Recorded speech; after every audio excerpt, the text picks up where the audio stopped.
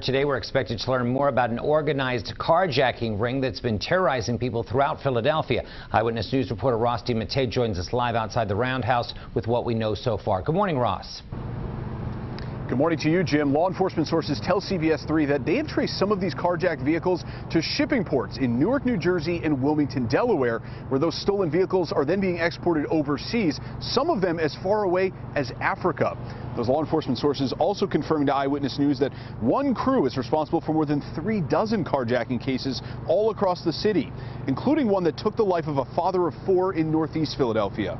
Police say they do have a man in custody in connection with the deadly carjacking in Rhawnhurst on February 6th. 60-year-old George Brisello was shot and killed during that carjacking on the 2100 block of Afton Street.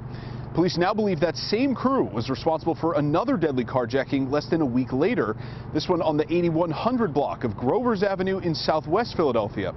City Councilmember Kenyatta Johnson is calling for a town hall tonight to confront the city's carjacking crisis.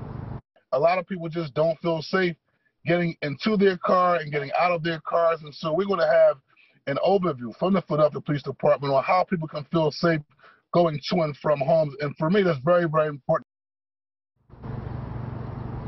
We are expecting to learn more about those two homicide cases and how they're connected to this larger carjacking ring during a press conference later on this morning. Philadelphia police will be joined by the DA, the mayor, and uh, local FBI officials, among others, to talk about this larger carjacking ring. That press conference gets started at 11 a.m., and you can watch it live streaming on CBS News Philly.